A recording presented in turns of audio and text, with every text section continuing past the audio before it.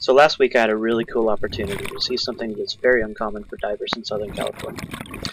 While making my way back to the boat, after doing a dive at Cat Rock at Anacapa Island, I saw something suspended off in the water column in the distance, and as I swam closer and closer, I just I couldn't believe what I was seeing. This is a ratfish.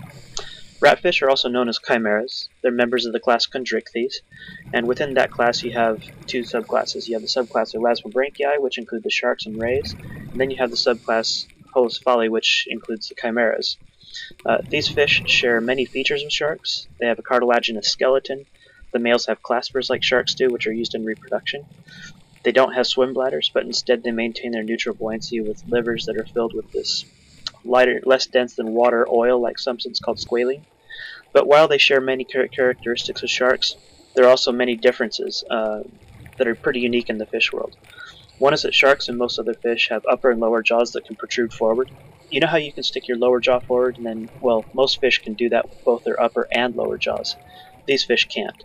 Uh, the upper jaw is fused to the cranium like ours. Um, they also have uh, one ex external gill slit, which is covered by an operculum. These fish are egg-laying, and their eggs tend to come in some pretty crazy shapes as well. Another major difference is that ratfish don't have scales, which is why this guy looks so shiny.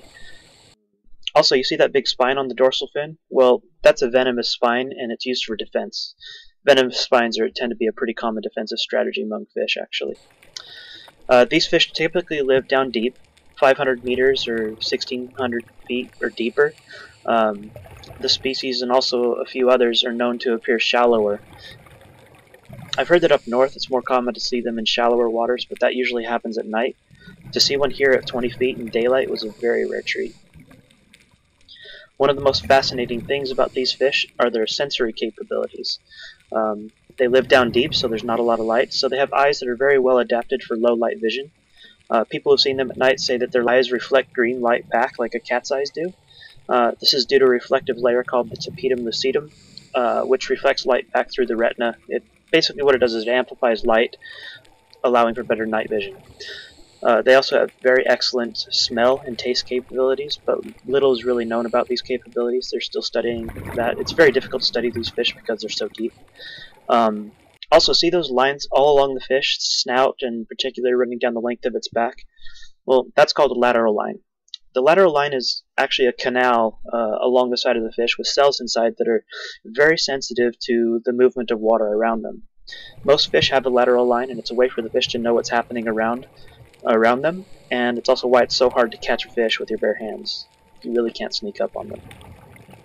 Chimeras also have an electroreceptive system, like sharks do, uh, called ampullae of Lorenzini, uh, which allows them to detect voltage gradients emitted by biotic and abiotic sources.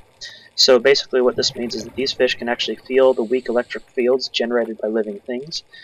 Uh, it's just another sense that allows them to find food. Uh, this also is used to help warn them of incoming predators and for finding mates.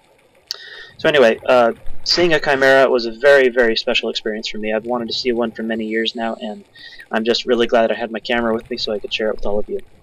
Thanks for watching.